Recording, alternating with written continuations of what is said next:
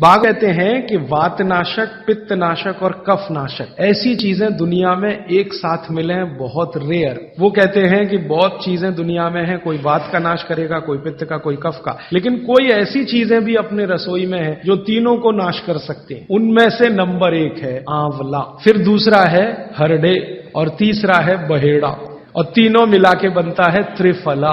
ये जो त्रिफला है ना बागवट जी इसकी इतनी बढ़ाई करते हैं, इतनी प्रशंसा उन्होंने लिखी है कि खाली त्रिफला पर ही उनके 120 से ज़्यादा सूत्र है। अकेले त्रिफला पर। त्रिफला को इसके साथ खाओ, त्रिफला को उसके साथ खाओ, त्रिफला को ऐसे खाओ। और वो ये कहते हैं कि ये जो त्रिफला है, इसमें सबसे अच्छा फल आंवला, फिर बहेड़ा, फिर हरडे। ये सबसे दुनिया में अद्भुत चीज़ है। लेकिन इसकी मात्रा के बारे में उन्होंने जो कहा है, वो ध्यान रखिए। ज़्यादातर ज़्यादातर लोग त्रिफला इस्तेमाल करते हैं। करिए, बहुत अच्छा है। लेकिन मात्रा ध्यान रखिए। हम क्या करते हैं कि हर बहेड़ा, आंवला, तीनों में कहूँ, तीनों बराबर मात्रा में मिला के त्रिफला बनाते हैं। वो कहते हैं कि ये उतना उपयोगी नहीं है। और हमने करके भी देखा। वो कहते हैं कि त्रिफला सबसे अच्छा होता है एक, दो, तीन के अनुपात में। पहला है हर, हरडे, एक अनुपात। दूसरा है बहेड़ा, दो अनुपात। और तीसरा है आंवला, तीन अनुपात। अब इसको मात्रा में कहूँ। अगर त्रिफला बनाना है तो हरडे लेना सौ ग्राम, बहेड़ा लेना दो सौ ग्राम और आंवला लेना तीन सौ ग्राम। तो ये सौ, दो सौ, तीन सौ ग्राम की मात्रा में आप जो त्रिफला चूर्ण तैयार करेंगे, वो कहते हैं ये अद्भुत है। वात, पित्त, कफ तीनों का नाश कर। अब वात, पित्त, कफ तीनों से आप अगर ग्रसित हैं तो आप त्रिफला ज़रूर लीजिए। कैसे लाएँ? त्रिफला लेने के दो नियम बताए उन्होंने। एक रात को और एक सवेरे। सवेरे का नियम उनका यह है कि सवेरे सवेरे अगर त्रिफला खाएँ तो गुड़ के साथ, नहीं तो शहद के साथ। तो सवेरे का त्रिफला खाएँ तो गुड़ या शहद के साथ। रात का त्रिफला खाएँ तो दूध के साथ या गर्म पानी के साथ। त्रिफला तो एक ही है ना? सवेरे भी त्रिफला ही खा रहे हैं, रात को भी। लेकिन बागवती जी कहते हैं, असर अलग अलग है दोनों के। रात को जो आप त्रिफला खाएँगे, दूध के साथ या गर्म पानी के साथ तो ये त्रिफला रेचक है। रेचक शब्द उन्होंने इस्तेमाल, रेचक माने पेट को साफ़ करने वाला, बड़ी आंत की सफ़ाई करने वाला, शरीर के सब अंगों की सफ़ाई करने वाला। तो कहते हैं, रात को अगर त्रिफला आप ले रहे हैं, दूध के साथ या गर्म पानी के साथ तो ये रेचक है। माने ये एक ही काम सबसे ज़्यादा करेगा कि आपकी कब्जियत मिटा देगा। कितनी भी पुरानी कब्जियत है, मिटा दे चालीस साल पुरानी भी मिटा दे। और जो दिन को त्रिफला खाया सवेरे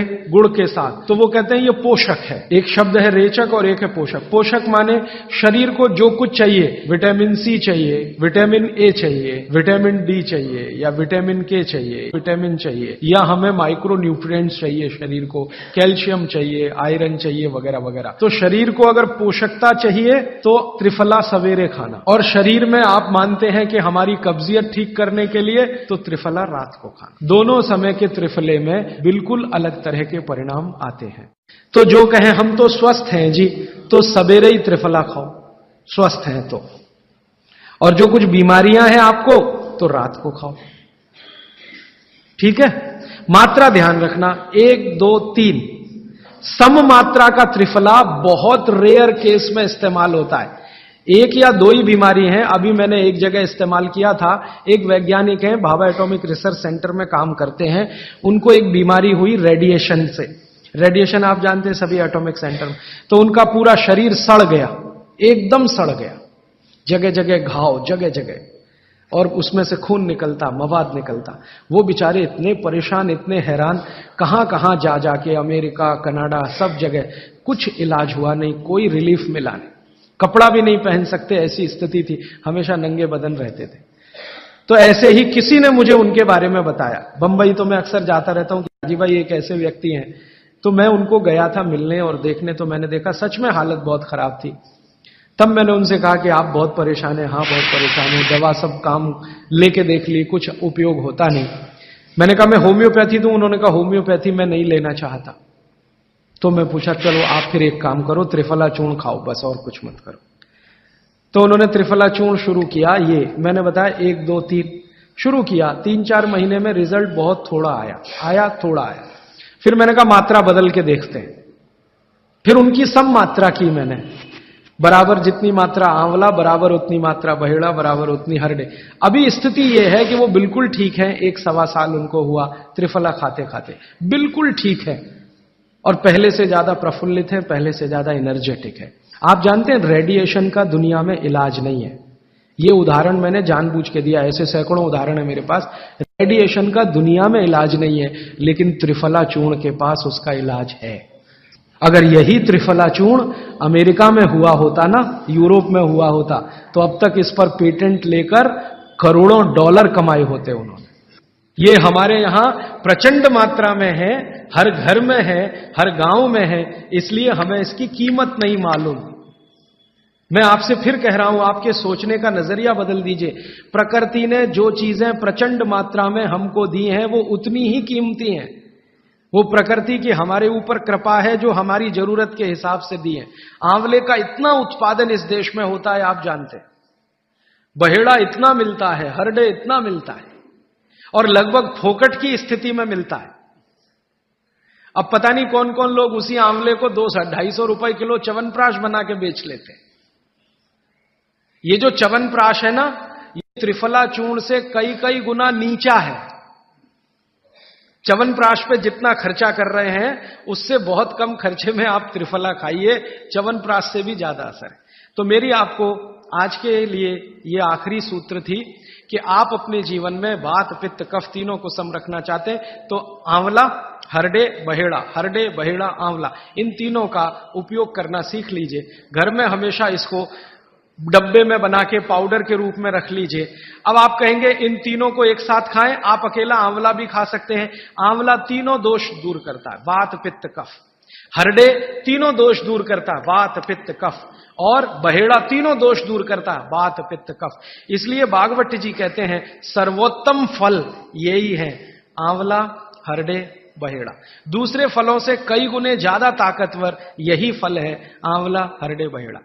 अब आपको आखिरी छोटी सी बात कह दूँ कि आप में से किसी को भी यह तकलीफ़ है कि आपके शरीर में मेद बढ़ा हुआ है, मेद माने मांस बढ़ा हुआ है। बहुत लोग परेशान है, मोटापा मोटापा। मेद माने कफ बढ़ा हुआ है, सीधी सी बात। तो आप त्रिफला खाइए। कब खाना है? आपको रात को नहीं खाना है, सवेरे खाना है। जिनको भी मांस बढ़ा है, शरीर पर मेद बढ़ा है, उनको अगर छाटना है, इसको कम करना है तो त्रिफला सवेरे खाना, आंवला सवेरे खाना। आप त्रिफला नहीं खा सकते तो आंवले ही खा लीजिए। चार आंवले, तीन आंवले रोज खा लीजिए। आंवले को मुरब्बा बना के खा लीजिए। मुरब्बा को और आंवले का अचार बना के खा लीजिए। आंवले की चटनी बना के खा लीजिए। जैसे भी है, आंवला खा लीजिए। तीन से चार आंवला जितना होता है ये पेट में जाते रहे। तो साल भर में आप देखोगे, आप पहले से ज़्यादा स्लिम और ट्रिम हो जाएँगे। और आंवले के बारे में आज के जो वैज्ञानिक कह रहे हैं, आज के, वो कहते हैं कि दुनिया का सबसे अच्छा एंटीऑक्सीडेंट फल कोई है तो वो यही है। एंटीऑक्सीडेंट माने जो ऑक्सीडेशन की क्रिया को कम करे। और शरीर में हमेशा ऑक्सीडेशन चलता है। ऑक्सीडेशन में उम्र कम होती है। शरीर के हर अंग का क्षय होता है। तो अगर उम्र बढ़ानी है और अंगों का क्षय बचाना है तो आंवले से अच्छी कोई चीज़ नहीं। दैनिक जीवन में, भोजन में इसको ज़रूर धारण करिए। बागवती जी कहते हैं कि जब त्रिफला खाएँ, आंवले के बारे में तो वो कुछ नहीं कहते, वो कहते हैं, साल भर खाओ, दो साल खाओ, रोज खाओ, कोई दिक्कत त्रिफला खाएँ तो तीन महीने लगातार खाने के बाद थोड़े दिन छोड़ देना। तीन महीने। तीन महीने नब्बे दिन खा के थोड़े दिन छोड़ देना। माने पंद्रह बीस दिन छोड़ देना। फिर अगले तीन महीने खा लेना। फिर पंद्रह बीस दिन छोड़ देना। फिर तीन महीने खा लेना। क्यों कर लेना ऐसा? वो कहते हैं कि ये छोड़ना ज़रूरी है बीच में। नहीं तो शरीर को आदत लग जाती है। और वो आपने अगर छोड़ा नहीं तो आपको कुछ दुष्परिणाम भी दे सकता है। लगातार अगर त्रिफला खाया तो कई दिन ऐसा लगेगा कमज़ोरी आ गई। अगर बीच में छोड़ा नहीं तो। छोड़ के खाना। अब किसी व्यक्ति के लिए ये छोड़ने का समय है वो तीन महीने से थोड़ा पहले भी हो सकता है ज़्यादा भी हो सकता है। इसलिए मैंने बीच का बताया तीन तीन महीने करके छोड़ छोड़ के खाना।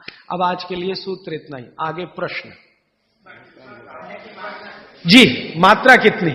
मात्रा में बता देता हूँ। जिनको वज़न कम करना है वज़न कम करने के लिए त्रिफला या आंवले का उपयोग करना है तो आंवला तीन से चार और त्रिफला हमेशा बड़ा टी स्पून।